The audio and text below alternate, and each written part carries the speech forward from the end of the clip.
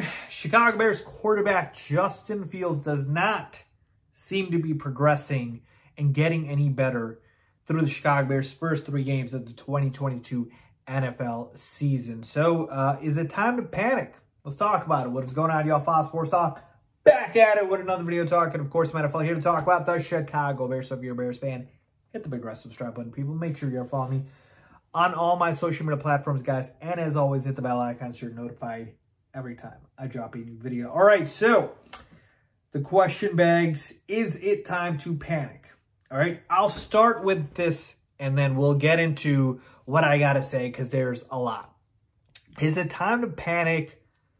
Probably not, because it's still very, very early. Three games in, still got 14 more. But, there's always a but, it is not looking good, people. It's not looking good one bit, okay? You would think the Bears being 2 and one through their first three games would be a very good sign for a team that Vegas had the win total at five and a half, over five and a half. So like just six wins. So we're literally four wins away from, you know, proving Vegas wrong. You would think that's a good thing. But the problem is the most important piece of this entire season does not seem to be progressing. And that's Justin Fields. I told you this season was never about wins. I, I picked the Bears to beat the Texans. I should be happy about that, right? And I am. But I'm not happy about the fact that our quarterback does not look good. Make no mistake about it, people. Justin Fields was awful today. He'll say it himself. He said in press conference, he was terrible. He was trash today. Okay? There's no doubt about it.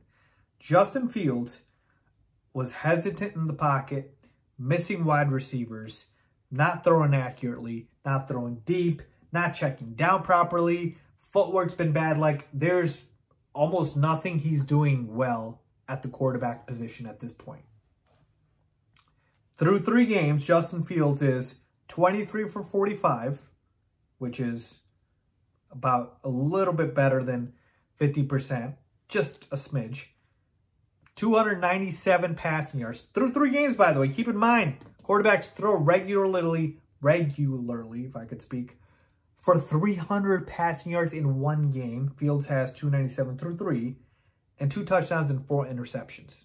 And this latest one against the Texans had no touchdowns and two interceptions. Justin Fields is playing very bad right now. And this is kind of what I was afraid of in the offseason when I know that the Bears did not surround Fields with a lot of weapons. And I was thinking, man, are they setting him up to fail because you have no weapons for this man. And so you aren't doing everything you can to maximize his talent, right? We can go down the line here of quarterbacks that we've seen progress with talent around them, like like even you're seeing that right now with Jalen Hurts, Tua Tagovailoa, perfect example, right? Those playmakers and Tyreek Hill and Jaylen Waddle, how much that's helping Tua. Do you think Tua would be able to do that with Darnell Mooney and Cole Kmet? Yeah, I don't think so. Um, Josh Allen, we all know everyone loves using that example. So it's it's it's very apparent that better weapons are needed. But even still, with the current weapons you have, did I expect Justin Fields to play this bad? No, I did not. I'm telling you, Justin Fields has no confidence at this point. And even worse, the coaching staff has no confidence in Justin Fields. They refuse to pass the football. You saw in the Texans game, Matt Eberflus didn't care that he had three timeouts uh, going into the half because he's not using them because he doesn't trust the passing game.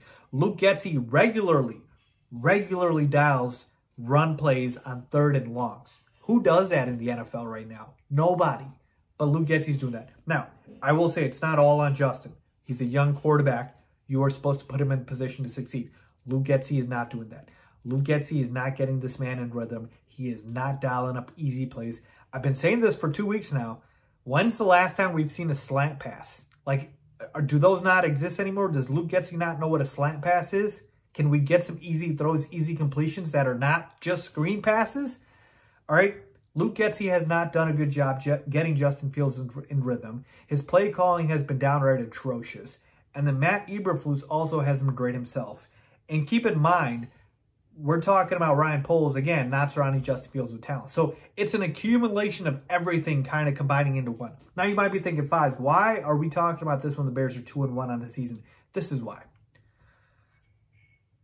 This season is about not about wins. It's about the development of Justin Fields. If Fields does not develop, what is the point of having seven or eight wins, missing the playoffs, and getting a bad draft pick? Like, I, I, I thought we were done with that. Remember when everybody was out on Mitch at the very end and we knew that, you know, Nagy's getting fired and Pace is going to be gone and we're going to move on from Mitch. Remember that season? And the Bears won all these meaningless games when we know that a draft pick would have been better for us. So it's like, yes, at the end of the day, the goal is to win football games, but you have to understand sometimes in order to take a step forward, you have to take two steps back. All right. In in a crazy world, like people might not agree with me on this, but if Justin Fields just destroys today, has like 300 yards, three touchdowns, no interceptions, plays beautifully, and the Bears lose, would you rather have that or this? Right? Because my thing is we're thinking long term, right? Long term. The Bears are not winning the Super Bowl this year. We know that. If you think they are, please go ahead and take some bets with me. I'll take that with you guys all day. But we know they're not. So it's like we're building towards the future. And yes, wins are important. I totally get it. But nothing's more important than the quarterback position, folks. Nothing's more important.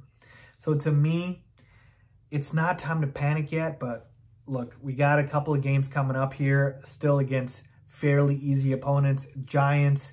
Again, I shouldn't say easy. Giants are 2-0. They're playing really well right now. Maybe we should have hired Brian Daboll, who I liked. Um, we got the Vikings at Minnesota. We got the Commanders. So, like, here's the thing. It's one thing if Justin Fields is playing bad against the Packers. It's a very good defense. It's a very good team. It's another thing entirely if Justin Fields can't even play well against the Texans, who aren't good. If Justin Fields can't play well against the Commanders, if Fields can't play well against the lesser competition of teams, that's a problem. And keep this in mind if you are a Justin Fields fan. This regime with Eberflus and Poles has absolutely no um, commitment to Fields. They never drafted him. He's not their guy. If they decide to move on from him, so be it. Be, in terms of what they're going to say. I, I, I think Justin Fields absolutely deserves this entire season. It's way too early. It's still way too early. I'm just saying to you, if we get a few more games into this, yes, it's time to start worrying. It's time to start worrying because you need to see some progression. But receivers can't get open. Cole Kmet, Darnell Mooney, Equanimeous St. Brown, like these guys can't get open. So it's a accumulation of everything just piling up.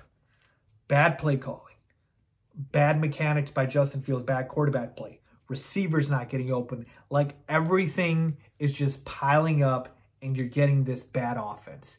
This offense by the Bears is archaic it's so bad at this point. So to me, uh, like the answer is it's not time to panic yet, but it will be if we don't see some progress. Like I need some progress. I really need it because Justin Fields' development is the most important thing this entire season, not the wins, the development of Fields. Let me know what you guys think. Leave a comment down below as always.